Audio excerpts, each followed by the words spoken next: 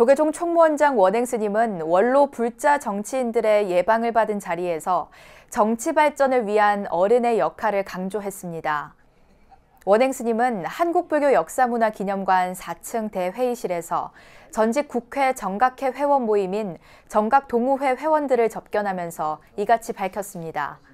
원행 스님은 정각 동호회는 국회에서 활동하실 때 종단에 헌신적이었던 분들이라며 종단을 위해 정계 어른들이 많은 역할을 해달라고 당부했습니다.